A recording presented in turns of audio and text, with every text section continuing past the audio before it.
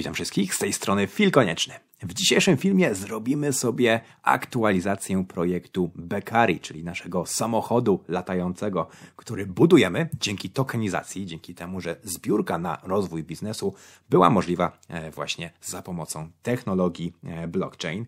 E, w tej aktualizacji zobaczycie, w jaki sposób budujemy już taki, taki naprawdę bardzo duży dron, który jednocześnie pływa, ale też i jeździ. I jest to ostatni etap, ostatni etap przed rozpoczęciem budowy już takiego normalnego, dużego samochodu latającego w skali 1 do 1. Ale zanim jeszcze przejdziemy do tej aktualizacji, to chciałem Wam powiedzieć, że następny odcinek to będzie aktualizacja projektu Herb, czyli naszej firmy Buy Helps, którą także stokenizowaliśmy. Tak naprawdę ta aktualizacja jest już nagrana i po prostu czeka w kolejce na wypuszczenie. Myślę, że będzie dosyć dużo ciekawych i fajnych informacji, ponieważ projekt poszedł do przodu e, po e, powiedzmy tych perturbacjach, które były związane e, apokalipsą post-covidową, tak to nazwijmy, gdzie ludzie zaczęli bardziej patrzeć na swoje wydatki.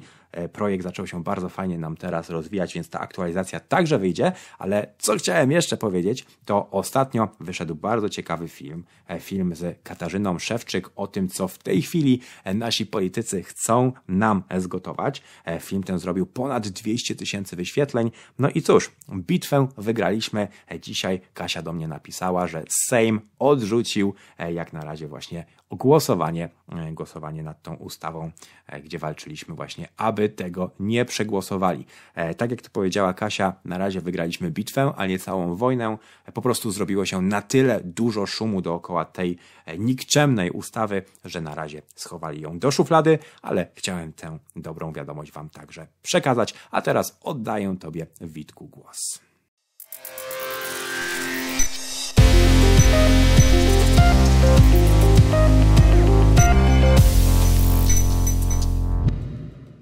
Cześć film, witam wszystkich, którzy śledzą poczynania firmy B-Technology i zapraszam Was do kolejnej aktualizacji.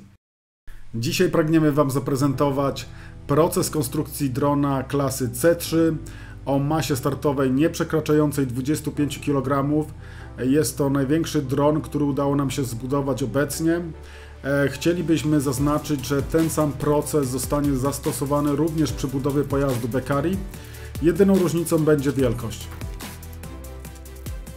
W poprzednim odcinku zaprezentowaliśmy Wam cztery modele CAD dronów w klasie od C0 do C3. W tym czasie udało nam się zbudować wszystkie prototypy. E, ze względu na ograniczony czas, ten odcinek poświęcimy dronowi w klasie C3. W kolejnych aktualizacjach zaprezentujemy pozostałe modele.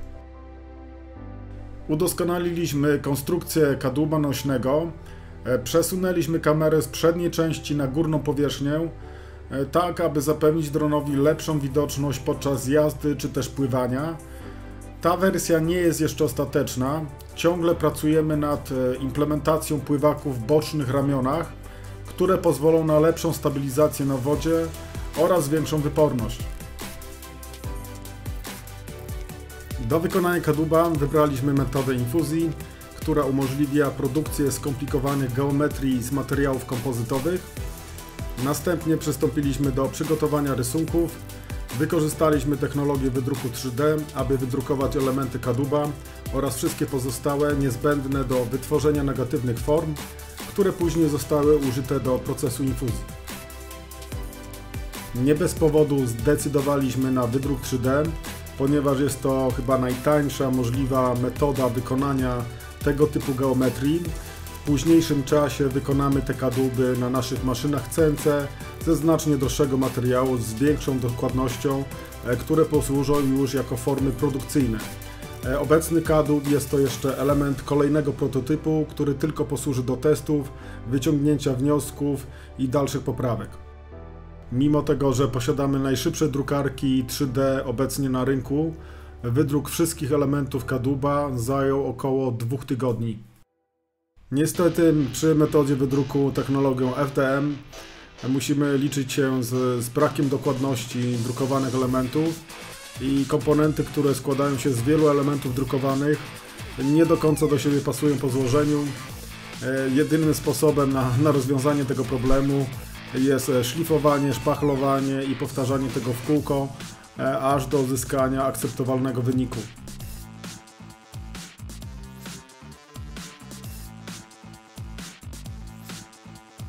Kolejnym krokiem było przejście do e, zdjęcia negatywów. Zaznaczę tutaj, że nie była to najłatwiejsza rzecz, e, ponieważ nasz kadłub nie składa się tylko z dwóch e, symetrycznych półek, ale mamy jeszcze na górnej powierzchni trzy otwory, które służą do montażu akumulatorów oraz elektroniki pokładowej, a w trakcie pracy z kadłubem umożliwiają nam na dostęp do wszystkich powierzchni kadłuba i dzięki temu mogliśmy skleić dwie połówki i dodatkowo wzmocnić je włóknem węglowym od środka i zabezpieczyć przed wodą.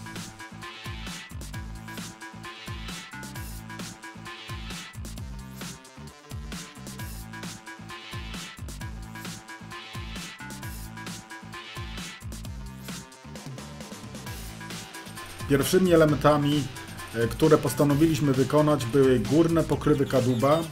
Na materiał wybraliśmy włókno szklane, nie bez przyczyny, ponieważ włókno szklane w przeciwieństwie do włókna węglowego nie blokuje fal radiowych, dlatego mogliśmy bezpiecznie pod nimi umieścić moduł GPS e, czy też odbiornik radiowy.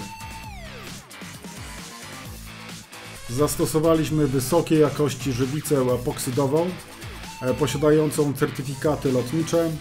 E, po wyjęciu elementów z formy poddaliśmy je długotrwałemu procesowi wypiekania celem którego było osiągnięcie pełnych właściwości mechanicznych żywicy. Po zakończeniu procesu utwardzania pierwszej części negatywu e, przystąpiliśmy do wykonania drugiej połowy. W tym celu powtórzyliśmy wcześniej przeprowadzone czynności. Tutaj staraliśmy się, aby każdy etap był dokładnie wykonany, e, ponieważ jakość powierzchni oraz precyzja geometrii e, później mają kluczowe znaczenie w zejściu się obu połówek i możliwości ich sklejenia. Naszym celem było osiągnięcie idealnie spasowanych elementów i w pełni nam się to udało.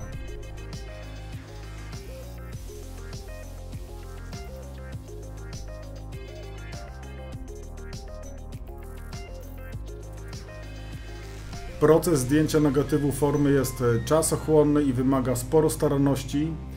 Po nałożeniu kilku warstw rozdzielacza i odczekaniu odpowiedniego czasu między nimi E, przystąpiliśmy do nakładania warstw żelkotu. E, w tej fazie również musieliśmy zachować rygor czasowy między warstwami i odczekać 3 godziny, aby zapewnić odpowiednie utwardzenie i przyczepność. Po zakończeniu tego etapu przeszliśmy do nakładania warstw włókna szklanego. Dzięki niemu osiągamy większą wytrzymałość i odporność formy na naprężenia.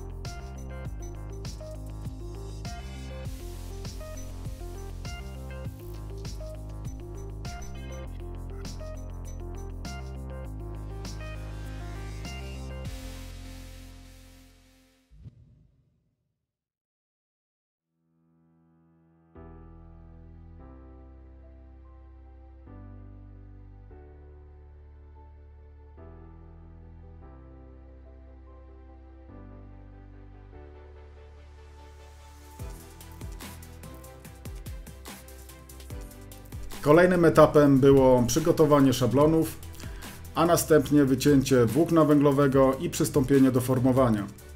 W trakcie tego procesu dążyliśmy do utrzymania wysokiej precyzji, pomimo tego, że jest to wymagające i brudne zadanie. Klejenie włókna węglowego oraz zapobieganie rozerwaniu tkaniny stanowią pewne wyzwanie, dlatego w przyszłości docelowo planujemy zastosować gotowe prepregi, oraz formy aluminiowe, które są po prostu bardziej higieniczne i łatwiejsze w pracy. Po przygotowaniu formy poprzez pokrycie jej kilkoma warstwami włókna węglowego nałożyliśmy delaminaż oraz siatkę rozprowadzającą żywicę, a całość przykryliśmy folią. Następnie przystąpiliśmy do sprawdzenia szczelności, co nie jest zadaniem łatwym ze względu na możliwość e, wystąpienia mikroprzecieków, których wykrycie jest e, dosyć trudne i wymaga czasu, ale udało nam się to zrobić i po upewnieniu się, że folmia jest szczelna, przystąpiliśmy do wprowadzenia żywicy.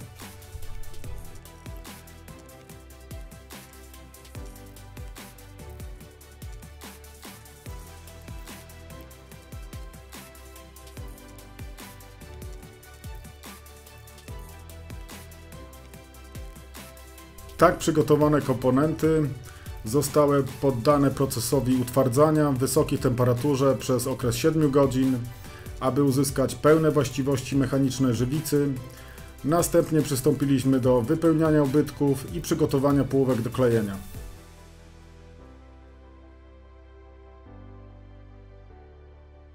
Kolejnym komponentem, który musieliśmy wykonać przed sklejeniem dwóch połówek e, kadłuba była komora baterii.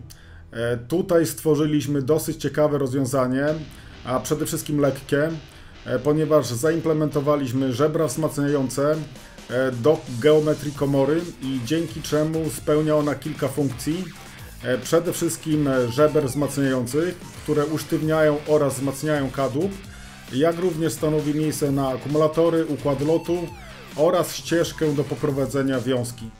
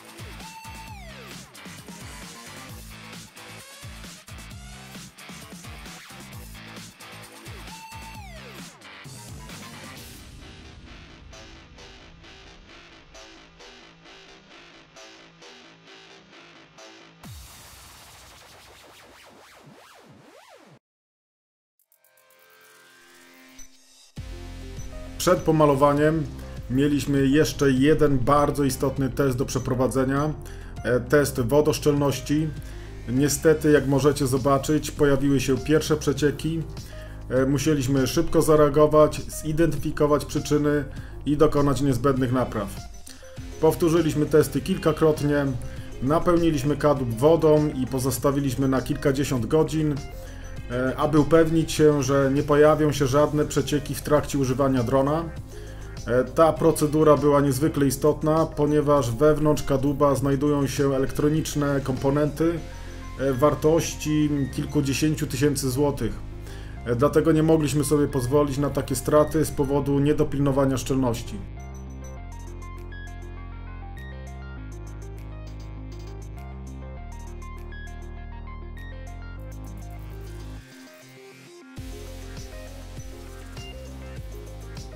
Po upewnieniu się, że kadłub jest wodoszczelny, e, przystąpiliśmy do montażu pozostałych komponentów drona.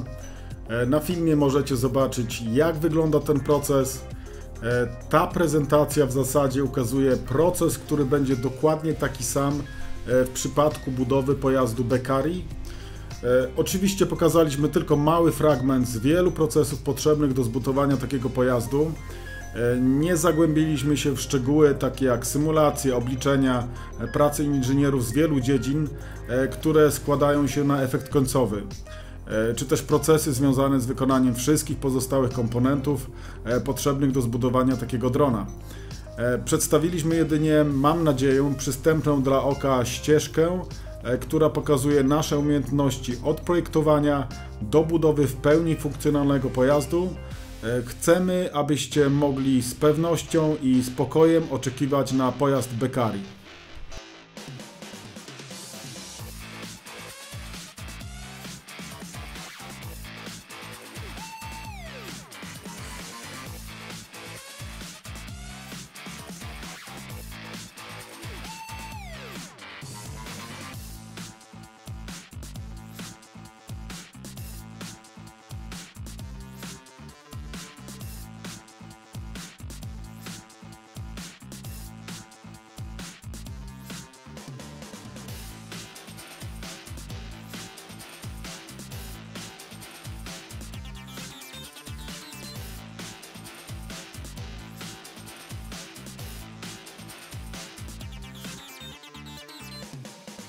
Po upewnieniu się, że wszystkie komponenty pracują jak powinny, przeszliśmy do testów w terenie, zaczęliśmy od testów jazdy.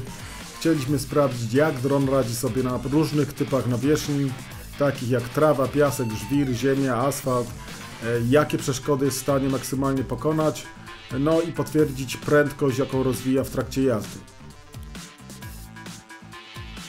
Przeprowadziliśmy pierwsze próby pływalności, e, choć nie jest to jeszcze wersja końcowa, ponieważ brakuje nam pływaków, e, które będą umieszczone w bocznych ramionach.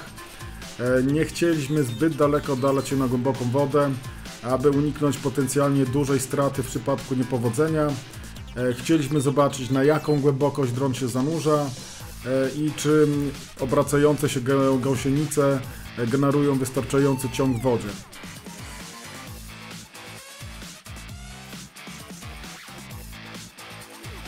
Jak widzicie, nawet bardzo wysokie zarośla, trawa e, nie są przeszkodą dla tego pojazdu na ziemi. No i przystąpiliśmy do testowania parametrów lotu. E, zaznaczę, że silniki generują ponad 80 kg ciągu e, przy wadze własnej zaledwie 23 kg. To daje nam ogromny nadmiar mocy, co przekłada się na znaczną zwinność w locie, nawet przy silnym wietrze. Na nagraniu można zobaczyć, jak rozpędzaliśmy drona, e, korzystając około 60-70% maksymalnej mocy. Prędkość znoszenia jest również imponująca, biorąc pod uwagę jego rozmiary i wagę. E, co więcej, jest to dron, który potrafi jeździć, latać, pływać, e, co stwarza niezwykle wszechstronne możliwości.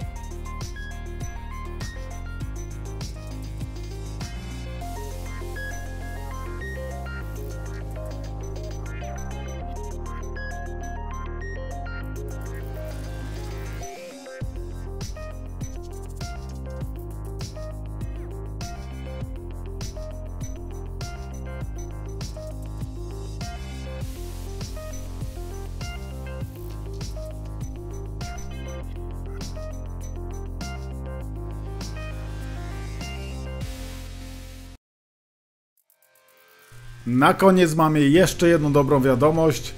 Właśnie otrzymaliśmy zestaw do wydruku w technologii SLS, e, który umożliwia nam wydruk w dwóch materiałach jednocześnie. E, ten zestaw znacznie przyspieszy naszą pracę nad prototypami oraz umożliwi szybsze wprowadzenie produktów na rynek komercyjny, e, ponieważ wydruki wykonane tą technologią cechują się wyjątkowo dobrą dokładnością i parametrami mechanicznymi materiałów.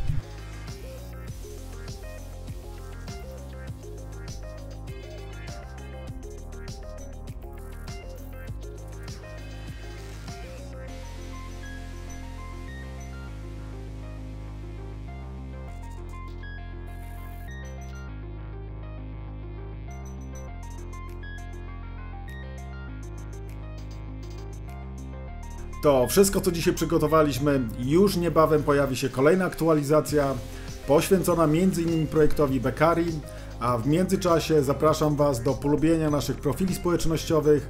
Tam częściej będziemy publikować zdjęcia i materiały wideo z naszej codziennej pracy. Do zobaczenia wkrótce.